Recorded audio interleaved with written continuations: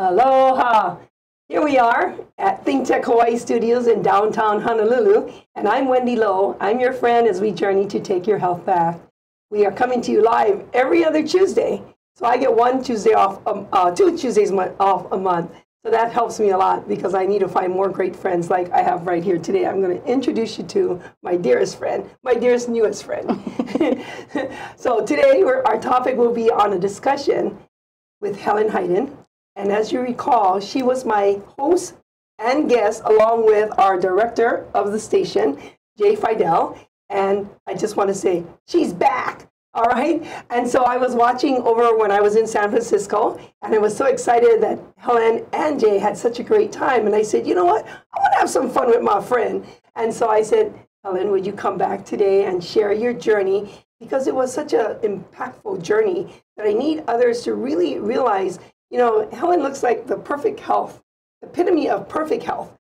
Always laughing, always bubbly, and just just dynamic in every day. As soon as you wake up, as I mean, we were together until like midnight yeah. last night, bubbly as heck, having a great time with life. But we're gonna deal dive right into her heart and her life, and she's gonna show us a little bit about what she truly experienced.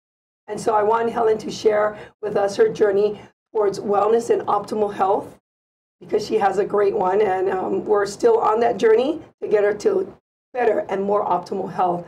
So, our takeaway from today's discussion is that you too can take your health back one day at a time. So, joining me today is my newest best friend, my BFF, Helen Hyden. Welcome, Helen. Thank you, Wendy, so very much. It's an absolute joy to be with you today. Thank you so much for asking me to be on your show. Again. Again. And I will again. but mahalo for being on the show today. And you know, in life, there are no coincidences. Um, I was praying one day and I asked, Ke Akua, I need to, you know, I work so hard. I just need to have some fun in my life, some crazy but fun. Okay? I was going to say that other word, but I so I said, I need to have some crazy fun with my life. So can you bring me some joy? I was leaving this Think Tech studio and this Hapa haole girl comes walking in. I'm like, hey, and we say hi and we give each other a hug. And I, I simply ask you, what are you here for, Helen? Yeah, it was it was such a weird day. I was not even intending to come to the studio. My show wasn't coming on until later the week, and so I came early and uh, I met you for the first time, and it was like we knew each other our whole lives already. Yeah, I know. Instant, mm, instant. Mm, yeah, know. and we have been inseparable and have had so much fun. And it's been so much fun getting you involved in some line dancing over oh, in Nashville. I know, I know. Yeah, got my cowboy outfit on. I got my boots on. You got your boots I got on too. Boots on. And what you call them? Oh. dance boots. Yes, dance, they're called dance, dance boots. That's not what I heard you call them earlier, but road stompers. Yeah, yes, there you go, yes, there you go. road stompers. And so I prayed and I asked for somebody to just bring joy into my life and more fun. And she told me what she wants to do in her professional career goals. And one of them is that you wanted to start a nonprofit for vets. Yes. And I said, Hallelujah, you are my next best new friend. And then we got to talking about other things. And then she says, Yeah, and I line dance. I'm like, You what? And that was that was history from there. So we've been going to line dance yeah. like on Mondays and Mondays Fridays. and Fridays. Yep. And you know this show is called Take Your Health Back with Wendy. And so that's part of taking your health back is doing the activities. Absolutely. And line dancing, I mean, for two hours we we dance from seven to nine and like and Helen, it's free. It's, it's free. free. So I mean, being Korean, being Chinese, free. free. What a deal, right? The best price, free ninety nine. So we walk in there at seven, and we get on the floor, and they give us lessons. Well, Helen doesn't need any because she's a professional. so they, you know, you go on your merry way. But for us, the newbies, and I invite all of you down, just come and partner with me because I'm there, and and learning each song and each step. So partner with me, and when you get better, you hang out with Helen. And for two hours, that's what we do. Yeah, and right? it's a great mindfulness exercise because I tried the traditional mindfulness practice, the um, yeah, I don't do fall that. asleep. Yeah, I don't do that very well. You know, focus on a flower for five minutes and you know whatever. No, I don't do that kind of mindfulness. Yeah. My mindfulness is on the dance floor. Heck yeah. Yeah, five, you know, two hours solid dancing and just really spending time with quality people. Mm-hmm. You don't have to drink. It, it's a bar, no smoking. It's by the water. It's beautiful. Come down to Nashville's uh, Waikiki at Aloha Tower. They moved years ago and just come be part of us Monday nights and Friday nights. And you know, um, for you single women out there, I mean, it's it's it's a great deal because when you line dance, you're like, what does it say? Line dance. You're not partnered up. You're lined up, and so there's no real physical contact unless you want it. But that's an option, right? And Yes. so we get in there within the first 15 minutes. We're like sweating already. We're working up a sweat. We're being very physical, and that's part of wellness being and doing the activity and not just sitting down all day on the computer watching TV. So that's part of it. And I really want to encourage all of you because we're giving you an open invitation. Absolutely. Come on down. Helen is the best host. the the teacher there is Donna. Donna, Donna, And I yep. tell you, but enough about that. Yep. So Helen, just um, reintroduce yourself Sure. to the audience. Sure. Tell us a little bit about Helen. Sure. I'm uh, 51 years old. Um, I'm the biggest misconception publicly what a disabled veteran should look like and act like. So I've been a disabled vet since my early 20s, you know, and I started having health challenges then. And when I hit 40, I became diabetic and I had hypothyroid issues, started getting sicker more often. By the time I was 45, I had two heart stents. Uh, people thought for a long time, for a year, they thought I was just having panic attacks. And it turned out I had a 95% block and an 80% block. So they stented the two heart, 2 heart stents. And then uh, as time went on, I started having more problems, ischemic colitis, you name it. It, it, it's been crazy. So I just want to show you, this is my bed at Tripler. I swear, I think they have my name on it. Um, Oh, that's not a happy that, face. that is my most funniest picture because I'm like, you know, to be vulnerable and share some of these pictures with the audience, it's me with no makeup, it's at my most vulnerable time. But I want people to understand when you see people out walking about, you don't know their journey, what they're going through Right. health wise. You just Right. don't. I present very happy and healthy and bubbly, like you said, Right. but uh, underneath it, I'm still going through medical challenges, Right. right? But you know what? You take one test at a time, one step at a time, one diagnosis. And one thing I learned from the VA mental health side, we'll talk about later, is the, the diagnosis is not you. It does not define you. Right. It is a condition that you have to learn to overcome or Right. deal with. Right. So the second slide I want to show you this this happened this September. This was my latest and greatest. it's me with Bell's palsy. You win. you know, I woke up. Wow, I woke up and I look like that. And, and I, I couldn't believe it. I thought I was having a stroke. Exactly. Right? It looks like a stroke. It does. Uh, went to Tripler again, and sure enough, they tested me for stroke. But I had a neurologist that said, if you can do this, Right. this is fine motor skills, it is not a stroke. Mm-hmm. And he says Bell's palsy is very common, especially when the weather changes here. Mm-hmm. He sees an increase. And a lot of people don't know what Bell's palsy is, Right. but it's a seventh cranial nerve. It gets inflamed. That's all this is. And I took prednisone, and wow, I was super blessed because uh, I, I got cured, obviously, Right. but it was scary because Right. I know people that that has stayed with them. Um, one third, I was told, get worse. One third stay the same, and one third get better. Wow. I was super blessed to get better. Wow. You know, what age were you at that time of the onset of the Bell's palsy? This was this last September. I was 50. 50. So, you know, the whole idea when I when I start talking with you, a lot of your health challenges came about when you turned 40. Absolutely. And we all know that life changes at 40. I mean, from the sight, you know, you're nearsighted, farsighted, everything kind of just changes. The weight doesn't go off as easily, and just different health challenges. So, you know, knowing that, you know, out to the younger audience, I believe at this generation, it's starting even younger than Absolutely. 40. And so we really want to get out the message of people starting to be healthier and take your health back earlier, not wait until 40. Because even for myself at 43, I noticed the weight didn't come off. I felt a little bit sluggish and I thought, what's going on? And I prayed and I said, I need help. That's when I started changing my lifestyle. And I was 43, and that was what, 16 years ago Yeah. that I've made the whole change into my whole lifestyle. And so I really want to encourage more. Not wait until we're 40. You younger generation out there started at 30s. earlier, earlier. even because uh, Earlier. even like diabetes, Mhm. huge. You know, you sit on that board and, and you know the challenges this island faces Oh, with diabetes, right? right. Processed foods. Right. Um, I can tell you a quick story. a couple years ago, before I came to Hawaii, I decided to change my life. I did no processed food. I drank water. I I walked two miles a day and danced three nights a week. And in four months, I lost 55 pounds Wow. and reverse my diabetes you know but as i get older like you said the weight does weight doesn't come off as easily i got sick gained some weight back now i'm trying to work my way the other way Mm-hmm. but it's just getting early testing getting early detection Awareness. awareness, Mhm, education education. absolutely Right. And you know, you hit it right on the nail right there.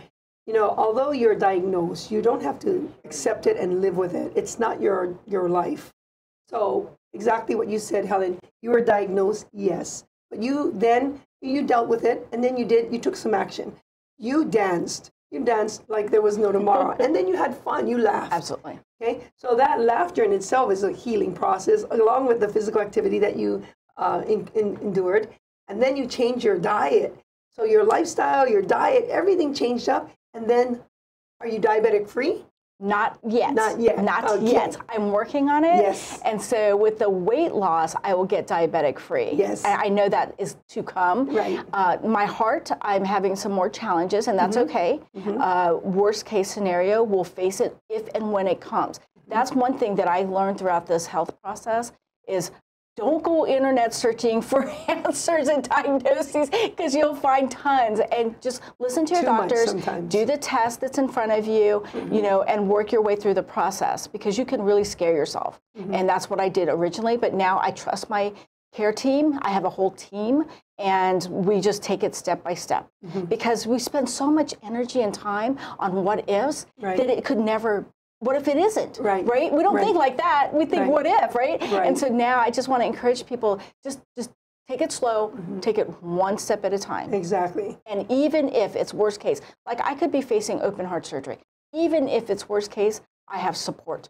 Right. I have my, you know, my Ohana family here. I Mm-hmm. have my son and daughter-in-law. I have John. Everybody's here to support me, and I'm not walking this walk alone. Right. And that's the other thing line dancing did. It gave me a community Yes. of support. Yes. Oh, Ohana. Yeah, Ohana. Yes, Ohana family. Uh-huh. Yes, and they they've just been phenomenal. And they check on me. They always make sure I'm going to be there. They ask about me all the time. It's a wonderful feeling. Right. This is the type of caliber of people that Right. we. I mean, that's you. Everyone knows that we all need a buddy, a buddy in life. Whether you have a whole line of buddies or a buddy, someone that holds you accountable, and that you can hold that person accountable as well. doesn't have to be a boyfriend or a husband. It can be a best friend. It could be a coworker, but somebody that you could just, you know, that knows you well enough that if something looks different about you, they, they'll recognize it. That's and right. They'll they'll say, "Hey, are you okay today?"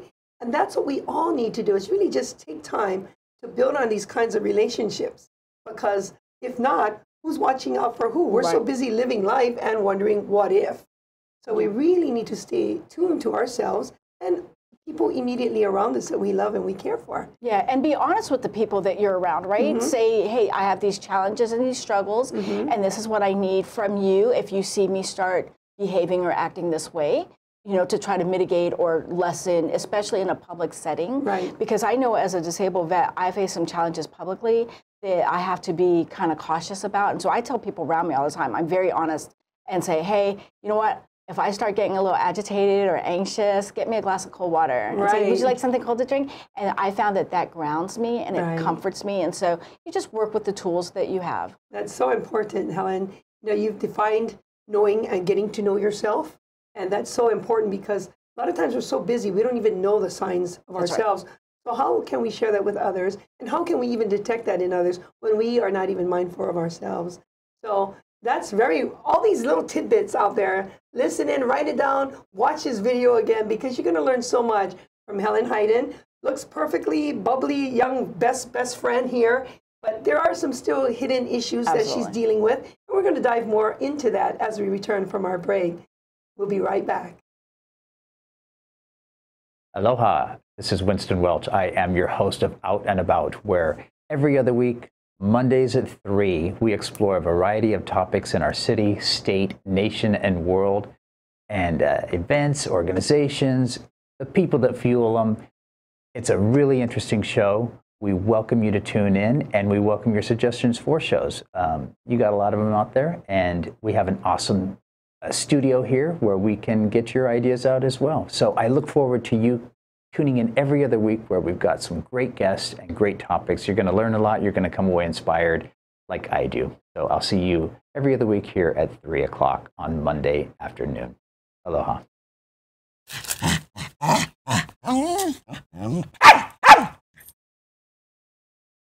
Aloha and welcome to At the Crossroads. I'm your host, Keisha King. You can catch me every Wednesday, alive at 5 I'll see you there.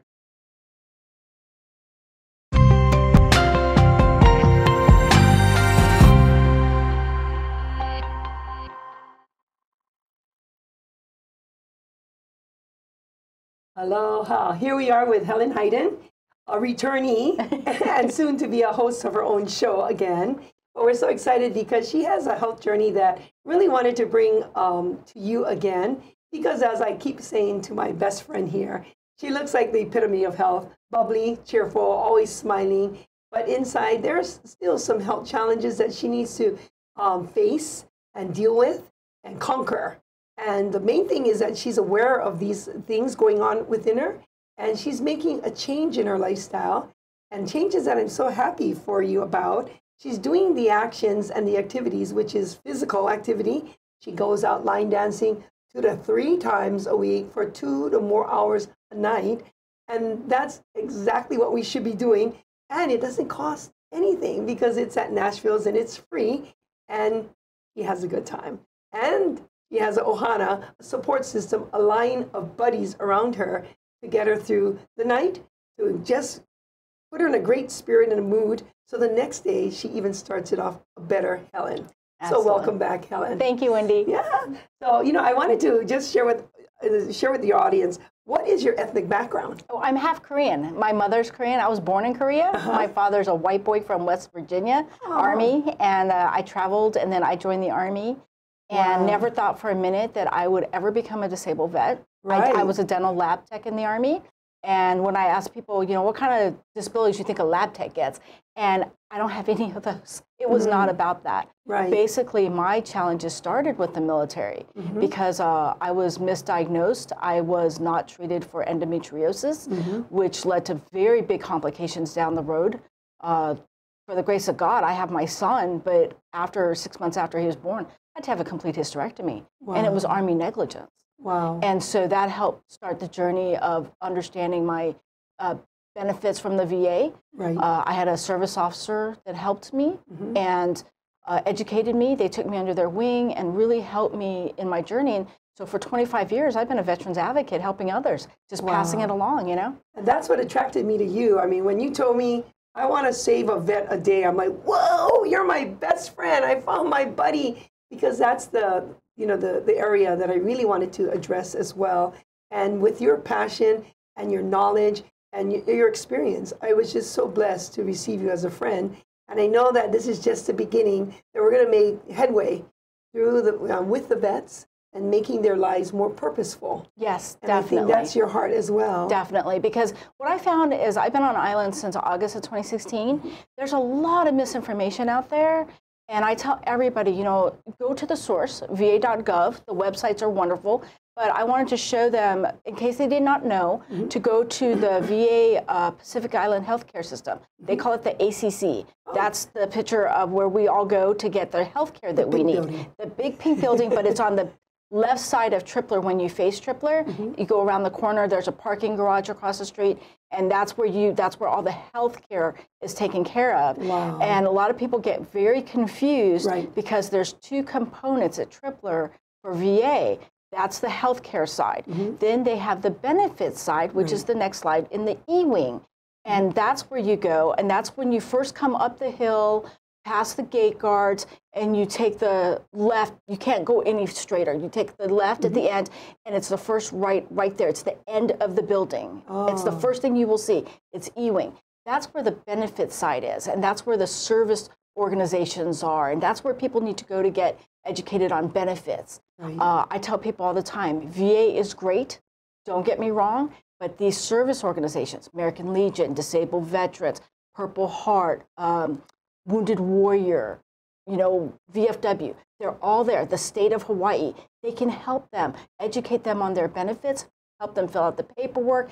And if something goes wrong, then they're there to advocate on their behalf. If you go to the benefits side, it's you and the VA. Mhm. You don't have that advocate with you. So I highly encourage everybody to get an advocate. Wow. Pick So, one. you know, when you go there to either side, the lines must be very Oh, yeah. long. Yeah, yeah, yeah, yeah. And it's take a ticket, take a seat kind Right. of concept. Hurry up to wait. Mm-hmm. Yep, yep. Hurry up to wait. Sometimes the, you wait three, four hours. I've been there with uh, clients that have waited a long time. Uh, they're doing the best they can Mm-hmm. Right. with the staff that they have, Right. and they are hiring all the time. The VA has wonderful health. Uh, they have wonderful, you know, um, Packages. packages for employment, Right. and they have uh, employment fairs all the time. Keep your eyes peeled. They hire 30, 40 veterans at a time. My fiance John went to one of those. I went with him, and I watched the process. It was they screened him, they took his resume, he got offered a tentative job in two hours flat, and within three weeks he was already working at the VA. Wow. It was amazing process. Wow. Well, they're looking, and that's, That's right. the need is there. So they need to fulfill that component so that they can process more Absolutely. and get these vets, these veterans, what they deserve, the benefits that they deserve as they defended our country. Yeah, and it's earned benefits. And a lot of people don't understand that. if it's in your medical records, you've already earned it. Now we just got to put the pieces together to make sure that you understand that component. And on my show, when I do Voice of the Veteran, Mm-hmm. I'm going to walk people through the step process on what they need to gather and how to approach that that part of it, the veteran benefit part Mm-hmm. of it. And maybe I'll have some guests that can explain it even further. Right. That'd and be you great. know, Helen, again, mention to the audience what is the date and time of your show? Yes, so starting on the 7th of April at 3 o'clock, I, I get every two weeks, I'll be doing a show. Mm-hmm. From- from May? From, from May 7th on. 7th, Yep. right. And this is, my show is a little bit different. I really want to hear the voice of the veteran. Mm-hmm. This is our show, the way I look at it. I'm just the host. If you want to be on this show and talk about stuff, please contact me at the show and I'll gladly bring you on. This is ours. Just like the VA is ours. Right. If we don't use the services, we lose them. So it's I tell every veteran, please, no matter what experience you have, don't take no for an answer. Let's try to find a way to make it work. Let's work with the staff there. Let's make sure that you get the healthcare needs that you need taken care of. Mm-hmm. And that brings me, you know, we talk a lot about physical stuff a lot. Right. But a lot of people don't know there's a oh. whole nother side to me, and it's the mental side. And oh, that's know that side. that one's we need a whole hour for that one. right. And so I just want to touch quickly, Wendy. You know, a lot of people will talk all day long about their physical stuff, but the minute you want to talk about mental health, they want to clam up and shut down. And it, it, this is not a thing of shame. no. This is not a thing of guilt or embarrassment. We have 22 veterans a day dying from suicide. We need to start talking. Talk therapy has been phenomenal for me. Mm-hmm. I've tried the medication. I'm not saying everybody works, but for me, it worked. Right. The medications did not. It was zombie land. I mm-hmm. hated that. It Right. took away my personality. Right. So I worked with my providers and said, I can't do this. Okay, mm-hmm. Is there anything else? Sure enough, talk therapy. And I have learned that this is like, I don't talk enough, but I learned that I learned that I like talk therapy because Really, it helps Helen? I know, right? I mean, you know, with all the health issues that you faced, Yeah. and then all the other issues of being in the military and being a military family, um, I know your therapy was your self-induced, and it has a lot to do with the ability to share, to reach within and share the good, the bad, the light, and the dark. And so that's really critical. So you have that gift. Many people out there, they, they can't. They can't share their their shame or they're just they just don't know. They're confused. They think it's their fault. They don't understand. Sure. So what you're going to bring to the table, what you are bringing to the table when you return back to your show is yes, give them a voice. Let them speak out and then you can help them and direct them in the right path to get healed. Absolutely. Mm-hmm. Absolutely. Because, you know, I find that a lot of veterans, once they start talking, it'll all come out, mm-hmm. right? But they just got to find that person that they trust. Right. And that's the big key. I found therapy that I trusted. I when I landed on island in 2016, I was going through another divorce. I was a hot mess, but you know what? I got connected with the VA mental health, went to day hospital. After that, Dr. Rob over there was phenomenal. After that, I, I went to this program called TECH, the Empowerment uh, Technical Empowerment Centers of Honolulu. It's at the VA. Tons of skills, tons of support, right. and you know I just can't encourage people enough to utilize these services. Don't be afraid. Right. They even have And be guitar. patient. Yes, and be patient. Be patient. They even have right. Oh. guitar lessons for oh, veterans. And probably hula. They, they do yoga, they do art therapy. Yes. It's not what you think anymore. It's not like the old school VA. Right. This is amazing, dynamic programs. Yes, but and, and I know we talked about this before, and a lot of people they they're not patient, so they go in and they want immediate response and like, oh, you know, I, I get tired of waiting, and I, I I don't have time to wait, but they do have time to wait. It's a process. It is. It's a process, and you know, we just have to encourage the listeners out there that if you know of a loved one that is experiencing loneliness or PTSD or just anything, that they are looking for services and they don't know of that's out there for them, please tune in to listen to Helen's show and you know Send me questions. questions. You know, for the show, email me. Send me questions. I would love to uh, just read what you write. But one of the things, the last slide, you did a great segue into the last slide Mm-hmm. because uh, this number right here, please make sure you get this number 1 800 273 TALK. And if you're a veteran, press 1. Anybody can call this. Family member, civilian, if you have a veteran in your life Mm-hmm. that is in crisis, call that number. If you are a veteran in crisis, you don't have to be suicidal or homicidal, but they will ask you the first question Mm. Right. because safety's first Right. for you. They need to know what they need to with. Know, right? And you need to be safe no matter what. But I personally have called that number when I have insomnia, when I am stressed out about my health issues, when I'm stressed about my relationship issues. I call that number. They are always on your side. Wow, you've got another buddy. Yeah. This is what it's all Yeah. about. So, you know, Helen, you've been uh, very privileged to understand what services are out there. So you tap into that. And so the other part now is you want to give back and you want to make sure that they receive the same help that you had. And so there's one more component of your life that I really want to dive into. I know that you're on your health journey, so your mind, body, and soul, you know, you're working, you're working on that. And now, what makes Helen happy? That's that's the next part of uh, continued healing. What makes you happy, and what are you going to do now that you're at this chapter of your life, and you're going to close that part, and you're going to dive into an- another chapter? Sure. Tell I'm them about it. super excited. uh, so I am going to fulfill a lifetime dream of mine and start producing kimchi. Yes. Everybody giggles and laughs, but I got to tell you, my mother made good kimchi, but I make better.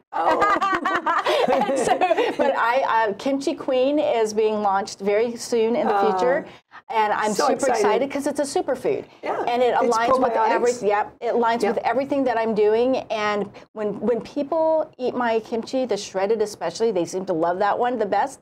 When someone comes up to you and says, "This is the best I've ever had in my life," you made a difference in that person's life. Yes, And that yes. aligns with what I really believe in. Whether it's through veteran care, whether it's through sharing food, sharing line dancing, I want to give that person that gift that I got, right? Right. That amazing feeling of just wowness. Yeah, and so that's the whole thing. When you eat her kimchi, you're not just eating eating probiotics. You're eating all her love and everything. Her mana is coming out into this kimchi. That's going to go into you, and so you're going to be joyful, happy, and bubbly, just like my buddy over here.